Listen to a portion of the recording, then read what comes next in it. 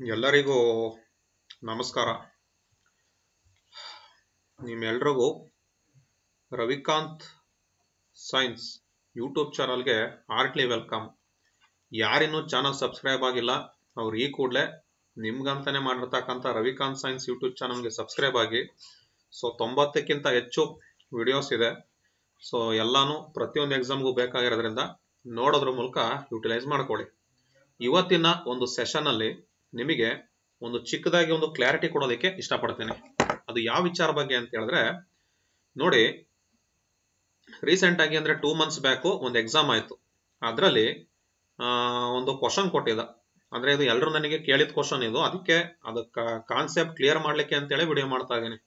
ಈ ತುಂಬಾ ಜನ ಕೇಳಿದ ಇದ್ಯಾಕೆ ಸರ್ ಹಿಂಗೆ, ಇದ್ಯಾಕೆ ಹಂಗೆ ಅಂತೇಳಿ ನೋಡಿ, ಕಡಲೆಯನ್ನು ನೀರು ನೆಲೆಸಿದಾಗ ಪರಿಮಾಣಕ್ಕಿಂತ ಮೂರು ಪಟ್ಟು ಊದ್ಕೊಳ್ಬಹುದು ಇದನ್ನು ಒಳಗೊಂಡಿರ್ತಕ್ಕಂಥ ವಿದ್ಯಮಾನ ಯಾವುದು ಅಂತೇಳಿ ಮೆಜಾರಿಟಿ ಎಲ್ಲ ಆಸ್ಮೋಸಿಸ್ ಹಾಕಿದ್ದಾರೆ ಬಟ್ ಅದ್ ಆನ್ಸರ್ ಬಂದು ಇಂಬೈಬಿಷನ್ ಅಂತೇಳಿ. ನೀವು ನೆಟ್ಟಲ್ಲಿ ಏನಾದ್ರು ಒಣದ್ರಾಕ್ಷಿಯನ್ನ ನೀರ್ನ ನೆನೆಸಿದಾಗ ಯಾಕೆ ಊದ್ಕೊಳ್ಳುತ್ತೆ ಅಂತ ಹೇಳ್ಬಿಟ್ಟು ನೆಟ್ಟಲ್ಲಿ ಸರ್ಚ್ ಮಾಡಿದ್ರೆ ಸೊ ಅಲ್ಲಿ ನಿಮಗೆ ಎಂಡಾಸ್ಮೋಸಿಸ್ ಅಂದ್ರೆ ಆಸ್ಮೋಸಿಸ್ ಅಲ್ಲೇ ಎಂಡಾಸ್ಮೋಸಿಸ್ ಅಂದ್ರೆ ಒಳಗಡೆ ಹೋಗ್ತಕ್ಕಂಥದ್ದು ವಾಟರ್ ಅಂತೇಳಿ ಎಂಡಾಸ್ಮೋಸಿಸ್ ಅಂತ ಬರುತ್ತೆ. ನೋಡಿ, ಈ ಕಡಲೆಕಾಯಿ ಬೀಜ ಏನಿದೆಯಲ್ಲ ಸರಿನಾ ಕಡಲೆಕಾಯಿ ಅಂತಕ್ಕಂಥದ್ದು ಸಹ ಘನ ವಸ್ತು. ಇಲ್ಲಿ ಒಣದ್ರಾಕ್ಷಿನೂ ಏನಪ್ಪಾ ಅಂತ ಕೇಳಿದ್ರೆ ಸಾಲಿಡ್ ಏನೆ. ಇಲ್ಲಿ ಎರಡೂ ಸಹ ನಾವು ಆದ್ರೆ ಒಂದು ಆಸ್ಮೋಸಿಸ್ ಎಕ್ಸಾಂಪಲ್ ಆಗಬೇಕು. ಗೊತ್ತಾಯ್ತಾ? ಸೊ ಅಥವಾ ಇನ್ನೊಂದು ಇಂಬೈಬಿಷನ್ಗೆ ಎಕ್ಸಾಂಪಲ್ ಆಗಬೇಕು. ಬಟ್ ನಾವು ಕಡ್ಲೆನ ನಾವೇನಂತ ಹೇಳ್ತೀವಿ? ಆಸ್ಮೋಸಿಸ್ ಅಂತ ಕರೆಯಲ್ಲ ಇಂಬೈಬಿಷನ್ ಅಂತ ಹೇಳ್ತೀವಿ. ಅದೇ ನಾವು ಇದನ್ನ ಒಣದ್ರಾಕ್ಷಿ ಅಂತ ಬಂದಾಗ ನಾವು ಅದಕ್ಕೆ ಆಸ್ಮೋಸಿಸ್ ಅಂತೇಳಿ ಕರಿತೀವಿ. ಸರಿನಾ? ಸೊ ಹಾಗಾದ್ರೆ ಇದು ಯಾಕೆ ಡಿಫ್ರೆನ್ಸ್ ಈ ತರ? ಇದು ಯಾಕೆ ಡಿಫ್ರೆನ್ಸ್ ಈ ತರ ಹಿಂಗ್ ಬರುತ್ತೆ. ಸೊ ಇದನ್ನ ಕ್ಲಿಯರ್ ಮಾಡ್ಲಿಕ್ಕಂತಾನೆ ನಾನು ಈ ಒಂದು ವಿಡಿಯೋನ ಮಾಡ್ತಾ ಇದ್ದೀನಿ. ಸೊ ಇದ್ರ ಬಗ್ಗೆ ಒಂದು ಕ್ಲಿಯರೆನ್ಸ್ ಅನ್ನ ನಿಮ್ಗೆ ಈ ವಿಡಿಯೋದಲ್ಲಿ ಕೊಡ್ತೇನೆ. ಸೊ ಅದನ್ನ ನಿಮಗೆ ಗೊತ್ತಾಗ್ಬೇಕಂತ ಕೇಳಿದ್ರೆ, ಮೊದಲು ಇಂಬೈಬಿಷನ್ ಅಂದ್ರೆ ಏನಂತ ಅರ್ಥ ಮಾಡ್ಕೊಳ್ಳಿ. ಬುಕ್ಕಲ್ಲೂ ನಾನು ನಿಮಗೆ ಕೊಟ್ಟಿದ್ದೀನಿ. ನಂದೇ ಬುಕ್ಕಿಂದ ಇದು ಇದು. ವಿಸರಣೆಯ ಒಂದು ವಿಧ. ವಿಸರಣೆ ಇಸ್ ನಥಿಂಗ್ ಬಟ್ ಡಿಫ್ಯೂಷನ್ ಅಂತ ಹೇಳ್ತೇವೆ. ವಿಸರಣೆ ಅಂತ ಕೇಳಿದ್ರೆ ಡಿಫ್ಯೂಷನ್ ಅಂತ ಕರಿತೀವಿ. ವಿಸರಣೆ ಒಂದು ವಿಧ. ಇದರಲ್ಲಿ ಘನವು ಸರಿನಾ? ಘನವು ನೀರನ್ನು ಹೀರಿಕೊಂಡು ಉಬ್ಬಿಕೊಳ್ಳುತ್ತದೆ ಅಂತ ಹೇಳಿದೆ ಸೊ ಅಂದ್ರೆ ಅಂದ್ಮೇಲೆ ಅಫ್ಕೋರ್ಸ್ ನಾವಿಲ್ಲಿ ಏನಂತ ಅರ್ಥ ಮಾಡ್ಕೋಬೇಕು? ಈ ಕಡಲೆಕಾಯಿ ಬೀಜ ಅಂತ ಕೇಳಿದ್ರೆ ಅದು ಘನನೆ, ನೀರ್ ಕಂಡು ಉಪ್ಕೋತು ಸೊ ಇಂಬೈಬೇಷನ್ ಆನ್ಸರ್ ಅದು ಸೊ ಹಾಗಾದ್ರೆ ಇಲ್ಲಿ ಒಣದ್ರಾಕ್ಷಿ ಅಂತ ಬಂದಾಗ ಅಲ್ಲೂ ಸಹ ಏನಾಗುತ್ತೆ? ಅದು ಘನನೆ ಬಂತಲ್ಲ. ಸೊ ಇದೇ ತರ ನಿಮ್ಗೆ ಕಾನ್ಸೆಪ್ಟ್ ಕ್ಲಿಯರ್ ಮಾಡ್ಲಿಕ್ಕೆ ಅಂತಾನೆ ವಿಡಿಯೋ ಮಾಡ್ತಾ ಇರೋದು. ತಪ್ಪದೆ ಕೊನೆವರೆಗೂ ನೋಡಿ. ಸೊ ಫಸ್ಟ್ ಇಂಬೈಬಿಷನ್ ಅಂದ್ರೆ ಏನಂತೇಳಿ ನಿಮ್ಗೆ ಅರ್ಥ ಮಾಡಿಸ್ಕೊಡ್ತೀನಿ.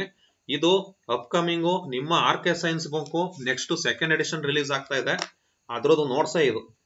ನಿಮಗೆ ಇದು ನೆಕ್ಸ್ಟ್ ಅಪ್ಡೇಟೆಡ್ ಬರ್ತಾ ಇದೆ. ಫಸ್ಟ್ ಎಡಿಷನ್ ಪೂರ್ತಿ ಖಾಲಿ ಆಗಿರೋದ್ರಿಂದ ಅಪ್ಡೇಟೆಡ್ ಬರ್ತಾ ಇದೆ. ಸೊ ಅದ್ರದ್ದು ನೋಟ್ಸೇ ಇದು. ಗೊತ್ತಾಯ್ತಾ? ನೋಡಿ ಇಂಬೈಬಿಷನ್ ವಿಸರಣೆ ಒಂದು ವಿಧ it is a type of diffusion ಇದರಲ್ಲಿ ಘನವು ನೀರನ್ನು ಹೀರಿಕೊಂಡು ಉಪ್ಪಿಕೊಳ್ತದೆ ಅಂತ ಹೇಳ್ತೇವೆ. ಹಾಗಾದ್ರೆ ಇದ್ರದ್ದು ಕ್ಯಾರೆಕ್ಟರ್ ಏನು? ಇದು ರಿವರ್ಸಿಬಲ್ ಪ್ರೋಸೆಸ್ ಗೊತ್ತಾಯ್ತಲ್ಲ?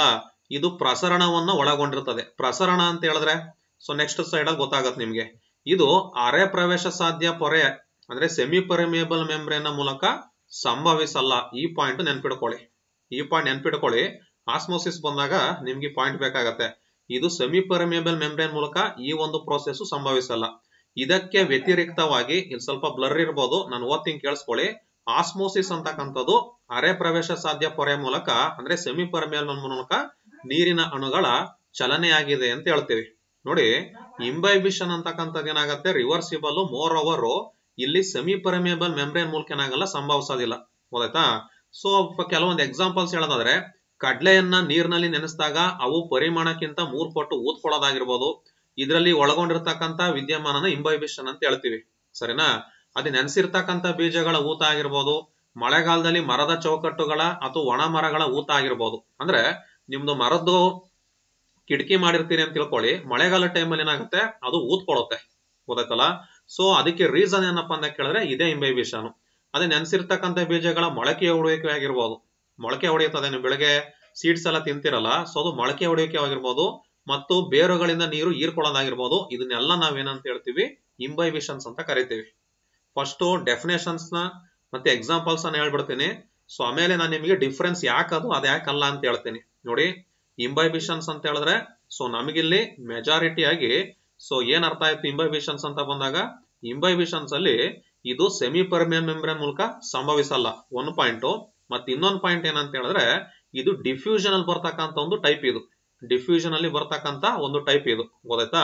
ಸೊ ಕಡ್ಲೆನ ನೀರ್ ನೆನೆಸಿದಾಗ ಉಪ್ಕೊಳ್ಳೋದಾಗಿರ್ಬೋದು ಕಡ್ಲೆ ಅಂತ ಕೇಳಿದ್ರೆ ಸೀಡ್ ಅಂತ ನೆನ್ಪಿಡ್ಕೊಳ್ಳಿ. ಸೀಡ್ನ ನೆನೆಸಿದಾಗ ಉಪ್ಕೊಳ್ಳೋದಾಗಿರ್ಬೋದು ಸರಿನಾ? ನೆನೆಸೋ ಮತ್ತೆ ಮರದ ಚೌಕಟ್ಟು, ಅಂದ್ರೆ ಮರದ ಪೀಸ್ಗಳು ಉಪ್ಕೊಳ್ಳೋದಾಗಿರ್ಬೋದು ಇದೆಲ್ಲ ಇಂಬೈಬಿಷನ್ಸ್ ಅಂಡ್ ಏನಾಯ್ತು ಕಂಡು ಬಂತು ಸರಿನಾ? ಹಾಗಾದ್ರೆ ಆಸ್ಮೋಸಿಸ್ ಅಂತ ಹೇಳಿದ್ರೇನು? ಆಸ್ಮೋಸಿಸ್ ಅಂತಕ್ಕಂಥದ್ದು ದ್ರಾವಕದಣುಗಳು ಕಡಿಮೆ ಸಾಂದ್ರತೆಯಿಂದ ಏನಾಗ್ತಕ್ಕಂಥದ್ದು? ಅರೆ ಪ್ರವೇಶ ಸಾಧ್ಯ ಪೊರೆಯ ಮೂಲಕ.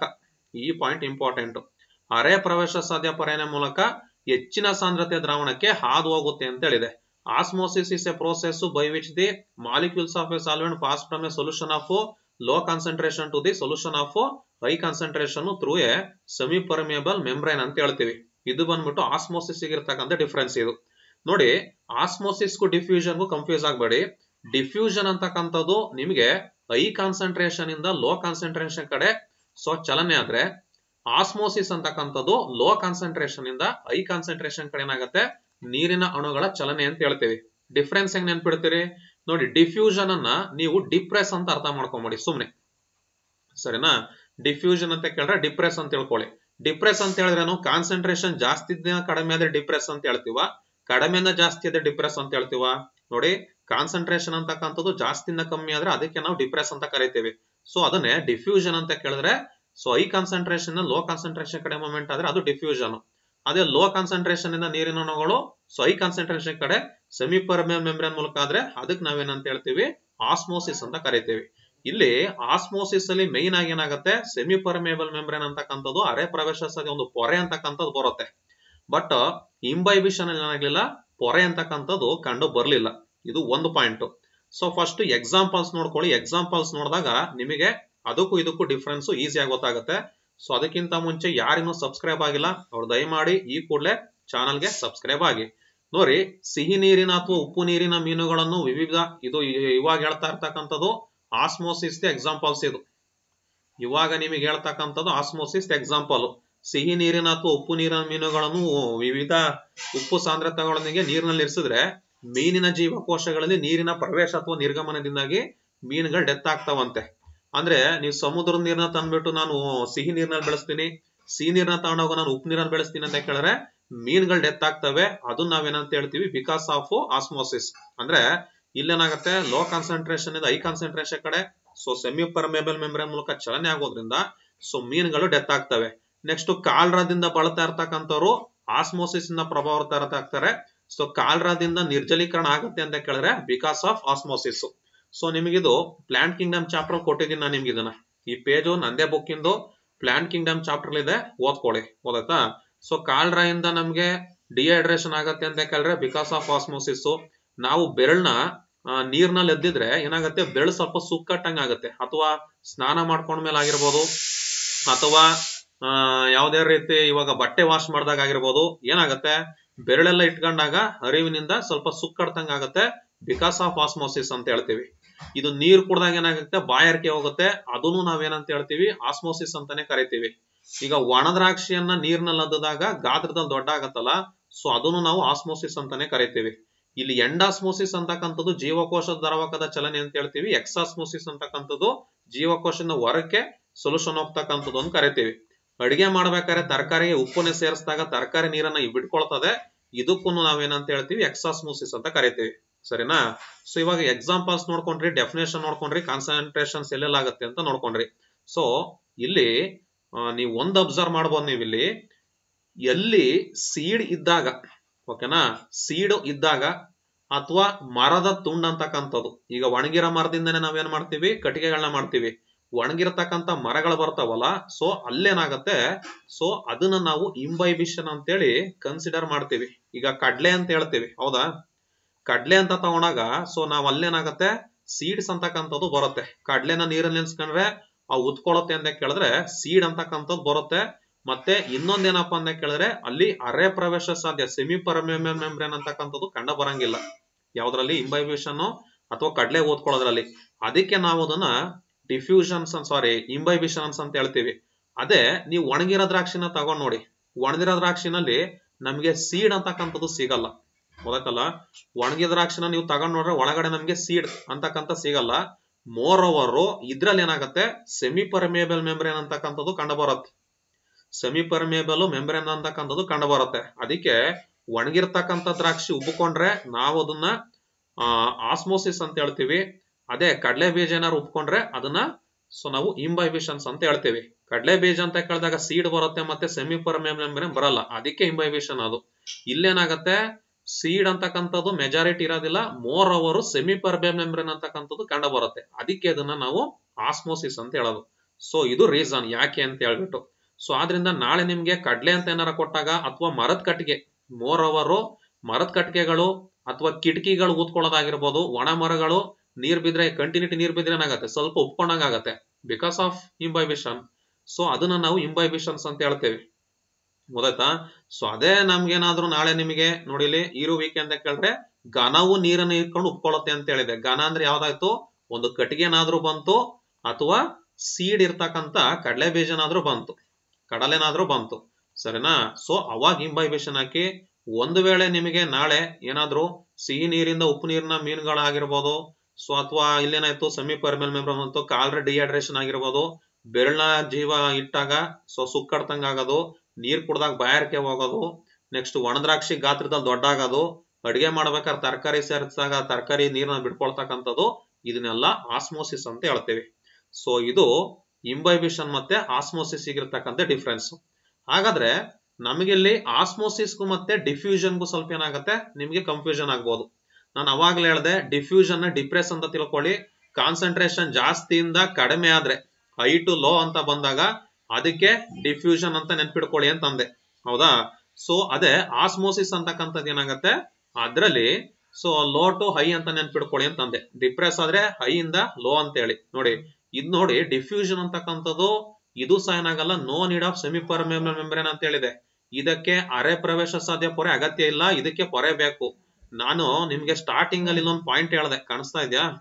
ನೋಡಿ ಇಲ್ಲಿ, ನಾನ್ ನಿಮ್ಗೆ ಈರುವಿಕೆ ಡಿಫ್ಯೂಷನ್ ಸರ್ ಇಂಬೈಬಿಷನ್ ಹೇಳ್ಬೇಕಾರೆ ಸೊ ನೋಡಿ, ಇದು ಹಿಂತಿರುಗಿಸಬಹುದಾದ ವಿದ್ಯಮಾನ, ಇದರಲ್ಲಿ ಪ್ರಸರಣವನ್ನ ಒಳಗೊಂಡಿರುತ್ತದೆ ಅಂತ ಹೇಳಿದೆ. ಅಂದ್ರೆ, ಪ್ರಸರಣ ಅಂತಕ್ಕಂಥದ್ದು ಇರುತ್ತೆ. ಇದು ಪ್ರಸರಣವನ್ನು ಒಳಗೊಂಡಿರುತ್ತದೆ ಅಂದ್ರೆ ಡಿಫ್ಯೂಷನ್ ಅಂತಕ್ಕಂಥದ್ದು ಇಂಬೈಬಿಷನ್ ಎರಡು ಒಟ್ಟಿಗೆ ಬರುತ್ತೆ ಅಂತ ಅರ್ಥ. ಮತ್ತೆ ಇದರಲ್ಲಿ ಸೆಮಿ ಪರ್ಮೇಬಲ್ ಇರಲ್ಲ ಅಂತ ಹೇಳಿದೆ. ಸೇಮ್ ಅದೇ ಪಾಯಿಂಟ್ ಡಿಫ್ಯೂಷನ್ ಅಲ್ಲಿ ಬರ್ತಕ್ಕಂಥದ್ದು, ನೋಡಿ ಇಲ್ಲಿ. ಗೊತ್ತಾಯ್ತಾ ಡಿಫ್ಯೂಷನ್ ಅಂತಕ್ಕಂಥದ್ರಲ್ಲೂ ಅದೇ ಬರುತ್ತೆ. ಇದರಲ್ಲಿ ಅರೆ ಪ್ರವೇಶ ಸಾಧ್ಯ ಪೊರೆ ಅಂತಕ್ಕಂಥದ್ದು ಇರೋದಿಲ್ಲ. ಮತ್ತೆ ಆಸ್ಮೋಸಿಸ್ ಏನಾಗುತ್ತೆ? ದ್ರವ ಮಾಧ್ಯಮದಲ್ಲಿ ನಡೀತದೆ. ಡಿಫ್ಯೂಷನ್ ಅಂತಕ್ಕಂಥದ್ದು ಯಾವುದೇ ಘನ, ದ್ರವ, ಅನಿಲ ಎಲ್ಲಾದ್ರಲ್ಲಿ ಏನಾಗ್ಬೋದು ನಡೀತದೆ. ಗೊತ್ತಾಯ್ತಾ? ಸೊ ಇಲ್ಲಿ ಕಣಗಳ ಚಲನೆಗೆ ನೀರ್ ಬೇಕಾಗತ್ತೆ. ಆಸ್ಮೋಸಿಸ್ ಅಲ್ಲಿ ಸೊ ಡಿಫ್ಯೂಷನ್ ಅಲ್ಲಿ ಏನಾಗಲ್ಲ, ನೀರ್ ಅಂತಕ್ಕಂಥದ್ದು ಬೇಕಾಗೋದಿಲ್ಲ. ಇಲ್ಲಿ ಕಣಗಳ ಅರಿವು ಒಂದೇ ದಿಕ್ನಲ್ಲಿ ಆಗ್ತಾ ಇರ್ತದೆ ಡಿಫ್ಯೂಷನ್ ಅಂತ ಕೇಳ್ರಿ ಎಲ್ಲಾ ದಿಕ್ನಲ್ಲಿ ಆಗ್ತಾ ಇರ್ತದೆ. ಆಸ್ಮೋಸಿಸ್ ಅಂತಕ್ಕಂಥದ್ದು ಒಂದೇ ರೀತಿ ದ್ರಾವಣ ನಡುವೆ ಸಂಭವಿಸ್ತದೆ ಡಿಫ್ಯೂಷನ್ ಅಂತಕ್ಕಂಥದ್ದು ವಿಭಿನ್ನ ದ್ರಾವಣಗಳ ನಡುವೆ ಸಂಭವಿಸ್ತದೆ. ಹಾಗಾದ್ರೆ ಡಿಫ್ಯೂಷನ್ ಎಕ್ಸಾಂಪಲ್ ಏನ್ ಹೇಳ್ಬೋದು? ಸೊ ಬೆಸ್ಟ್ ಎಕ್ಸಾಂಪಲ್ ನೂಡಲ್ಸ್ಗೆ ನೀರ್ ಹಾಕಿದ್ರೆ, ನೂಡಲ್ಸ್ ಹೀರ್ಕೊಳ್ಳೋದಾಗಿರ್ಬೋದು. ಸೊ ದಟ್ ಈಸ್ ಡಿಫ್ಯೂಷನ್ ನೀವು ಅದೇ ನೀವು ಒಂದು ಪರ್ಫ್ಯೂಮ್ ಅನ್ನ ಒಂದು ರೂಮ್ ಅಲ್ಲಿ ಆನ್ ಮಾಡಿ ಇಟ್ಬಿಟ್ಟು ಒಂದು ರೂಮ್ ಅಲ್ಲಿ ಓಪನ್ ಮಾಡಿಟ್ರೆ ರೂಮ್ ಪೂರ್ತಿ ಗಮ್ ಅಂತ ಫ್ರಾಗ್ರೆನ್ಸ್ ಬರುತ್ತೆ. ಅದನ್ನು ನಾವು ಡಿಫ್ಯೂಷನ್ ಅಂತಾನೆ ಹೇಳ್ಬಹುದು ಸೊ ಇವೆಲ್ಲ ಡಿಫ್ಯೂಷನ್ ಅಂದ್ರೆ ಏನಾಗುತ್ತೆ ಕಂಡು ಬರುತ್ತೆ. ಸೊ ಒಟ್ನಲ್ಲಿ ಡಿಫ್ಯೂಷನ್ ಹೈ ಕಾನ್ಸಂಟ್ರೇಷನ್ ಲೋ ಕಡೆ ಬಂದ್ರೆ ಆಸ್ಮೋಸಿಸ್ ಲೋ ಇಂದ ಹೈ ಕಡೆ ಏನಾಗುತ್ತೆ ಕಂಡು ಬರುತ್ತೆ. ಸೊ ಇದು ಡಿಫ್ರೆನ್ಸ್ ಸೊ ನಾವು ಆಸ್ಮೋಸಿಸ್ ನೋಡ್ತಾ ಇರ್ತೀವಿ. ಹಾಗಾದ್ರೆ ಆಸ್ಮೋಸಿಸ್ಗೂ ಮತ್ತೆ ರಿವರ್ಸ್ ಆಸ್ಮೋಸಿಸ್ಗೂ ಡಿಫ್ರೆನ್ಸ್ ಏನು? ನೋಡಿ ಆಸ್ಮೋಸಿಸ್ ಅಂತ ಕೇಳಿದ್ರೆ ನ್ಯಾಚುರಲ್ ಪ್ರೊಸೆಸ್ ರಿವರ್ಸ್ ಆಸ್ಮೋಸಿಸ್ ಅಂದ್ರೆ ಆರ್ಟಿಫಿಷಿಯಲ್ ನಿಮ್ಮನೆ ಏನಾದ್ರೂ ಒಂದು ಅಕ್ವಾಗಾರ್ಡ್ ಇದ್ರೆ, ಅದ್ರ ಮೇಲೆ ನೋಡಿ R O plus U V ಅಂತ ಬರ್ದಿರತ್ ಒ ಪ್ಲಸ್ ಯು ವಿ ಅಂತ ಬರ್ತಿರ್ತದೆ. ಅಂದ್ರೆ ಆರ್ ಒ ಅಂದ್ರೆ ರಿವರ್ಸ್ ಆಸ್ಮೋಸಿಸ್ ಅಂತ ಹೇಳಿ ಅಂದ್ರೆ ನಾವು ಆರ್ಟಿಫಿಷಿಯಲಿ ವಾಟರ್ ಏನ್ ಮಾಡ್ತಾ ಇರ್ತೀವಿ? ಕ್ಲೀನ್ ಮಾಡ್ತಾ ಇರ್ತೀವಿ ಫಿಲ್ಟರ್ ಮಾಡ್ತಾ ಇರ್ತೀವಿ. ಹೌದಾ? ಸೊ ರಿವರ್ಸ್ ಆಸ್ಮೋಸಿಸ್ ಅಂತಕ್ಕಂಥದ್ದು ಆರ್ಟಿಫಿಷಿಯಲ್ ಪ್ರೋಸೆಸ್ ಸೊ ಬೇರು ಕೂದಲುಗಳು ರೂಟ್ ಏರ್ಸ್ ನೀರನ್ನ ಹೀರ್ಕೊಳ್ತಕ್ಕಂಥದ್ದು ಆಸ್ಮೋಸಿಸ್ ಆದ್ರೆ ಸ್ಟೊಮ್ಯಾಟ್ ಅಂತಕ್ಕಂಥದ್ದು ಕ್ಲೋಸ್ ಆಗ್ತಕ್ಕಂಥದ್ದು ನೀರ್ನ ಶುದ್ಧೀಕರಣ ಮಾಡ್ತಕ್ಕಂಥದ್ದು ರಿವರ್ಸ್ ಆಸ್ಮೋಸಿಸ್ ನೋಡಿ ರೂಟ್ ಏರ್ಸ್ ಇಂದ ನಿಮ್ಗೆ ಕ್ವಶನ್ಸ್ ಹೆಂಗ್ ಕೇಳ್ತಾನೆ ಅಂತ ಹೇಳಿದ್ರೆ, ಒಂದ್ ಗಿಡನ ಒಂದ್ ಕಡೆ ನೆಟ್ಟಿ, ಅದೇ ಗಿಡನ ಬೇರ್ ಸಮೇತ ಕಿತ್ಬಿಟ್ಟು ಮತ್ತೊಂದ್ ಕಡೆ ಇಟ್ರೆ, ಆ ಗಿಡ ಒಣಗೋಗುತ್ತೆ ಯಾಕೆ ಅಂತ ಕೇಳ್ತಾನೆ. ಸೊ ಯಾಕೆ ಅಂತ ಹೇಳಿದ್ರೆ ರೂಟ್ ಏರ್ಸ್ ಮೇನ್ ಆಗಿ ಮಣ್ಣಿನಲ್ಲಿರ್ತಕ್ಕಂಥ ಪೋಷಕಾಂಶನ ನೀರನ್ನ ಹೀರ್ಕೊಳ್ಳೋದಿಕ್ಕೆ ಹೆಲ್ಪ್ ಮಾಡ್ತಾ ಇರತ್ತೆ. ನಾವು ಗಿಡನ ಕಿತ್ಬಿಟ್ಟು ಇನ್ನೊಂದ್ ಕಡೆ ನೆಟ್ರೇನಾಗತ್ತೆ ಸೊ ಆ ಗಿಡದಲ್ಲಿರ್ತಕ್ಕಂಥ ರೂಟ್ ಏರ್ಸ್ಗಳ ನಾಶ ಆಗಿ ಮತ್ತೊಂದ್ ಕಡೆ ನೆಟ್ಟದಾಗ ಅದು ಮಣ್ಣಲ್ಲಿರ್ತಕ್ಕಂಥ ವಾಟರ್ ಅನ್ನ ಹೀರ್ಕೊಳ್ಳೋದಕ್ಕೆ ವಿಫಲ ಆಗತ್ತೆ. ಸರಿನಾ?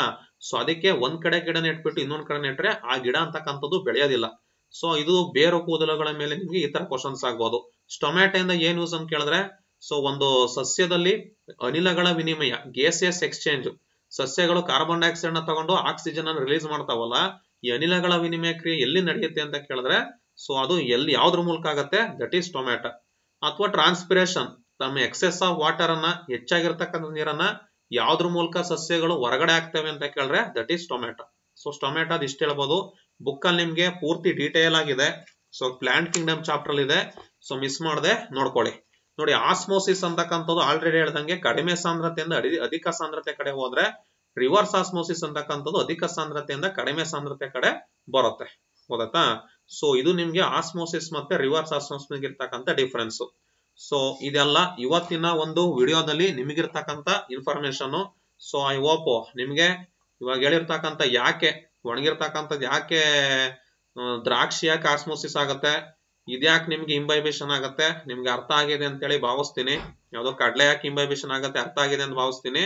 ಸೊ ಯಾರಿನ್ನೂ ಚಾನಲ್ಗೆ ಸಬ್ಸ್ಕ್ರೈಬ್ ಆಗಿಲ್ಲ, ಅವ್ರು ಈ ಕೂಡಲೇ ರವಿಕಾಂತ್ ಸೈನ್ಸ್, ನಿಮ್ಗಂತಾನೆ ಮಾಡಿರ್ತಕ್ಕಂಥ ರವಿಕಾಂತ್ ಸೈನ್ಸ್ ಯೂಟ್ಯೂಬ್ ಚಾನಲ್ಗೆ ಈಗಲೇ ಸಬ್ಸ್ಕ್ರೈಬ್ ಆಗಿ ವಿಡಿಯೋನ ಲೈಕ್ ಮಾಡಿ, ಸಬ್ಸ್ಕ್ರೈಬ್ ಮಾಡಿ, ಮತ್ತೆ ಈಗಲೇ ಶೇರ್ ಮಾಡಿ. ಅನ್ನ ಅಕಾಡೆಮಿಯಲ್ಲಿ ನನ್ನ ಕ್ಲಾಸ್ ಕಂಟಿನ್ಯೂಟಿ ನಡೀತಾ ಇರುತ್ತೆ. ಈಗಲೇ ಆರ್ ಕೆ ಸೈನ್ಸ್ ಟೆಲಿಗ್ರಾಮ್ ಚಾನಲ್ಗೆ ಜಾಯ್ನ್ ಆಗಿ ಕ್ಲಾಸಸ್ ಅನ್ನ ನೋಡೋದಕ್ಕೆ ಶುರು ಮಾಡಿ. ಇದಿಷ್ಟು ಇವತ್ತಿನ ವಿಡಿಯೋ ಬಗ್ಗೆ. ಮತ್ತೆ ಮುಂದಿನ ವಿಡಿಯೋದಲ್ಲಿ ಮತ್ತೆ ಸಿಗೋಣ. ಅಂಟಿಲ್ ದೆನ್ ಥ್ಯಾಂಕ್ ಯು ಪ್ರತಿ ಒಬ್ಬರಿಗೂ ಕ್ಲಾಸ್ ನೋಡ್ತಾ ಇರ್ತಕ್ಕಂಥ ಎಲ್ರಿಗೂ ನಮಸ್ಕಾರ. ಪ್ರತಿಯೊಬ್ಬರಿಗೂ ನಮಸ್ತೆ. ಹ್ಮ್. ಸಬ್ಸ್ಕ್ರೈಬ್ ಆಗದೆ ಆದವ್ರು ದಯಮಾಡಿ ಈ ಕೂಡಲೇ ಚಾನಲ್ಗೆ ಸಬ್ಸ್ಕ್ರೈಬ್ ಆಗಿ, ರವಿಕಾಂತ್ ಸೈನ್ಸ್ ಯೂಟ್ಯೂಬ್ ಚಾನಲ್ಗೆ ಸಬ್ಸ್ಕ್ರೈಬ್ ಆಗಿ ವಿಡಿಯೋನ ಶೇರ್ ಮಾಡಿ. ಥ್ಯಾಂಕ್ ಯು ನಮಸ್ತೆ.